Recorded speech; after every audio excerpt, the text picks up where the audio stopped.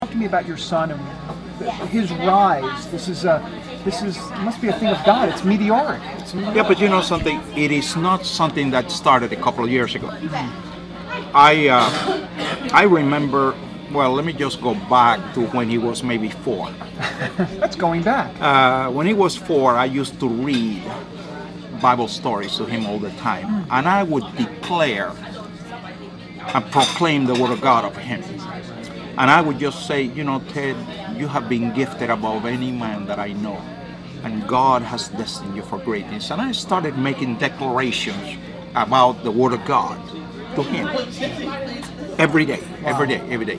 When he was eight years old, I was very active in an organization called the Religious Roundtable. This was a coalition of Christians and Jews who was very instrumental in helping, helping Reagan get elected. Mm, I was on the state board of the Religious Roundtable. So when my son Ted was eight years old, all we talked about around the dinner table was politics because I was so involved with the Reagan campaign.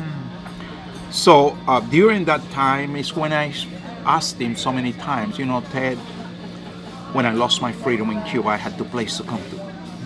If we lose our freedoms here, where are we going to go? Is no place to go. Ted enters high school. The Free Enterprise Institute organizes a group of five kids, calls them the constitutional corroborators. Hmm. Now Ted is reading the Federalist Papers, the anti-Federalist Papers, and each of these five kids memorized the entire U.S. Constitution.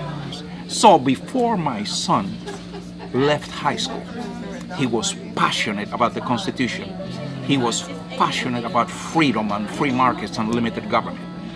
And before he left high school, he knew without a shadow of a doubt what his purpose in life was. Hmm. And it was to defend and protect freedom and the Constitution, to fight for free markets and, and unlimited government. Hmm. And it became a passion in his life. So this is not a trajectory of three years, it's a trajectory of 30 years.